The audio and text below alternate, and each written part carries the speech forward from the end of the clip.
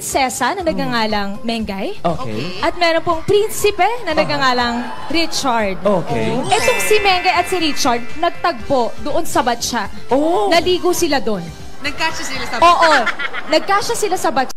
Prinsesa na nagangalang Welcome back mga kaaldab. Ito na naman po ang inyong lingkod, si Mr. Destiny. At pag-uusapan natin itong napakagandang video na to mga kaaldab. Ulitin ko lang po for the record lang.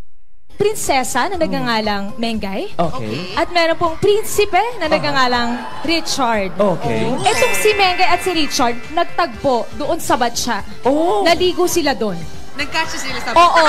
Nagka Medyo matagal na po ito mga kaaldab pero sabi ko nga po sa inyo, umaayon po talaga sa atin ang panahon.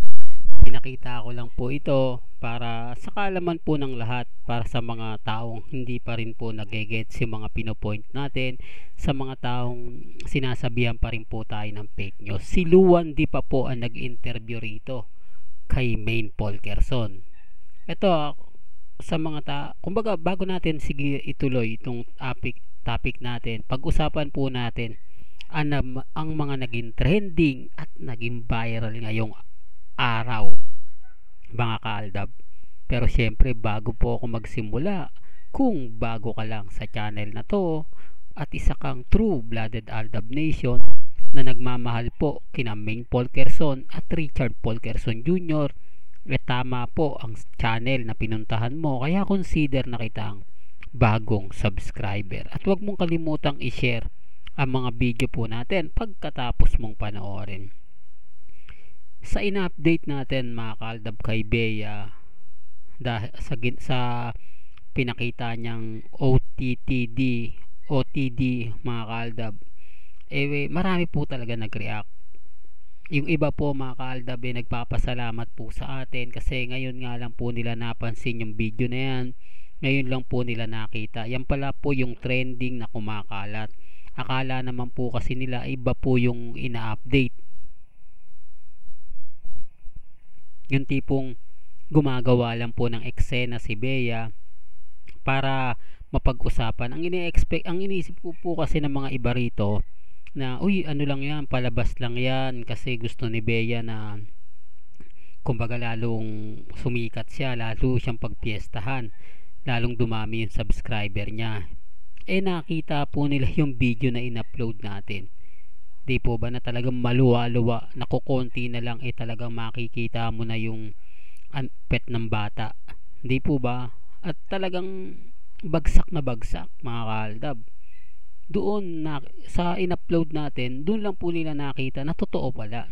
Hindi pala ito isang ano, kumbaga moro-moro. Kumbaga 101% ligit siya. Kaya nga po yung iba gusto sa channel natin kasi updated po tayo. Although yung iba hindi pa po kasi alam kaya nagre-react. Ngayon siguro alam na po nila na hindi lang po ako ang nag-react, hindi lang po ako yung nagkomento. Marami pong iba. Kaya nga po isinaling ko agad dito sa channel natin para yung iba malaman din. Di po ba? Kaya lang marami nag-react na ako daw po yung naninira sa teleserye ng dalawa. Na sinabi ko naman pong hindi totoo. Di po ba na tayo pa nga ako pa nga yung nagpo-promote eh.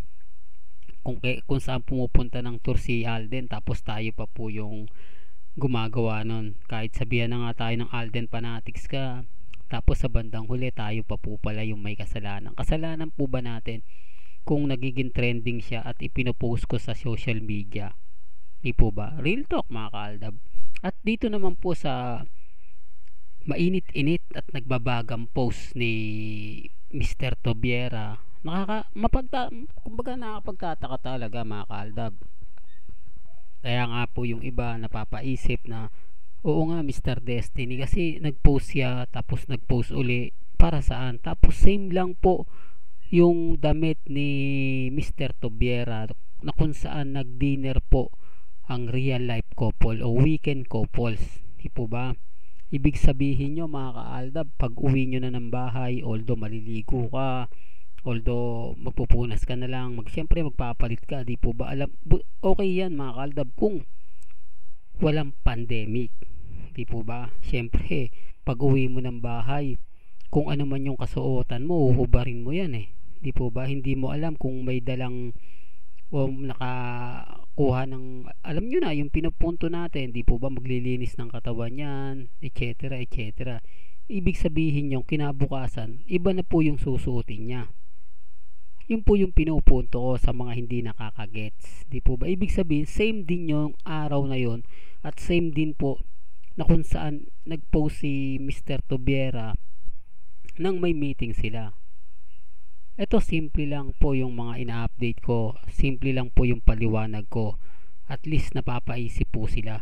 Di po ba na mukhang may punto si Mr. Destiny kasi paniniwalaan niya kung mga tatlo, apat na araw bago i-post. Hindi, sabay eh. Tapos sasabihin nila magkaiba daw po yung araw, magkaiba daw po. Eh bakit same lang po yung damit?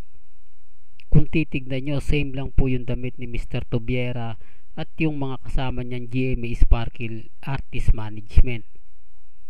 Pero wala naman pong problema sa kontrata kung sakasakaling pumirma si Mengay. Siguro marami lang babaguhin, siguro marami lang kumbaga aasikasuhin pagbabago. Kaya nga po nandun si Richard Paul Carson Jr. eh. At siguro tatanggapin niya ni Mengay, alam niyo kung bakit. Siyempre, namimiss niya rin po yung mga eksena sa labas. Namimiss niya rin po yung mga kaganapan sa main goals, hindi po ba? Nakita nyo naman po, siya lang po yung talagang tipong masayang masaya sa ginagawa niya. Hindi po ba? Yun po yung sinasabi natin na isa sa mga kontrata na wala akong kalab team, parang Alden lang, ibig ko sabihin na gagawin natin katulad ng main goals, hindi po ba? Yun po yung siguro, ito yung ano ko lang ha, senaryo ko lang baka naman po may mag-react dyan na Mr. Destiny pinangungunahan mo na naman yung sinasabi na kontrata wala pang pinipirma. Binabase ko lang po to sa mga nagiging experience ni Mengay. Kasi alam ko mga kaldab mas gusto niya yung nasa labas eh. Yung tipong ayaw niya na nasa loob lang ng studio nagdadrama gusto niya yung may challenge. Hindi po ba? Real talk mga kaldab.